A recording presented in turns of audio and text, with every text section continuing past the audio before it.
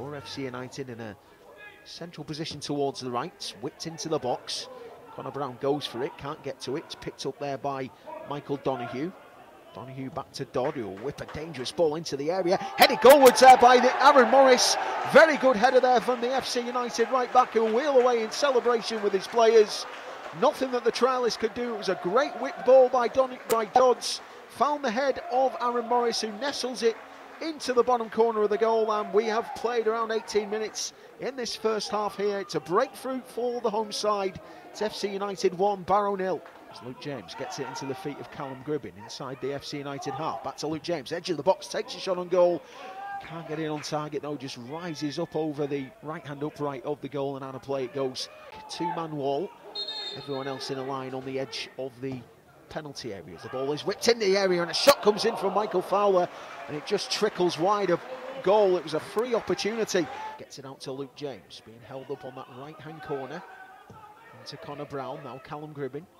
Gribbin back out to Luke James again. Luke James whips the ball in. Dior Angus gets up with a header. Just doesn't drop far enough though, and in the end it's over the bar and out for a goal kick. Yeah, much better start from Barrow. And now we are going to see those changes. Patrick Brough coming on, Jack Hindle coming on, Morgan Penfold coming on, Tom Beadling, Josh Kay, Lewis Hardcastle, Mike Jones also coming on here for Barrow. It is, as we expected, wholesale changes being made here. In possession again now, FC United. Forward it goes by Chris Doyle. Barrow win it back again with Josh Kay. Josh Kay running towards the edge of the area. Strong sliding challenge. Picked up again by Beadling. Inside the box it goes for Jack Hindle who turns and gets a shot away. And Jack Hindle this time puts it low into the bottom corner of the goal. His third goal of pre-season after his two against Holker Old Boys last Saturday. And Barrow have got themselves back on level terms inside the second half here at Broadhurst Park. Yeah, persistence wasn't it? Barrow reacting to the second ball. Josh Kay did extremely well for you know pressing. Came to Hindle. Hindle no messing about, just got himself in a shooting position and let fly and Barrow get themselves level picked up by Matt Platt here at the back for Barrow. Out to Patrick Brough. Josh Kay. Inside it goes to Hindle. Chip forward for Scott Quigley. Flag stays down. Quigley inside the penalty area. Quigley hits it low into the back of the net. FC United stop. They were looking for the offside flag. I think at one point Scott Quigley was stuttering, waiting to see if the flag had gone up. The flag stayed down, rightly so. Gets inside the penalty area. And the 20 goal season man last season makes no mistake, his first of pre season to make it FC United 1, Barrow 2.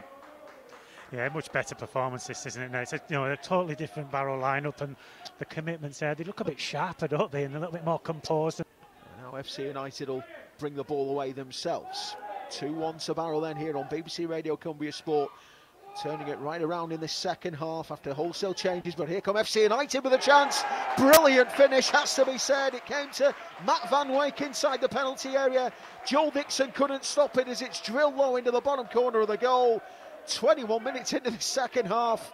We've seen three goals in a short space of time, and it's now FC United 2, Barrow 2 well, it just wakes everybody back up again, doesn't it? We got the goal, got ourselves ahead, and then you know, decent little move from FC United. They switched, the, no, they did that really well in the first half, switching the ball and lovely ball into the centre. He brought it down on his chest, and he just played a lovely little ball into that channel, and it's great composed finish, wasn't it? Touch and slotted it into the net. So again, there's things to do better at both ends. Little pass in this now from Barrow into Mike Jones. Nice ball for Lewis Hardcastle.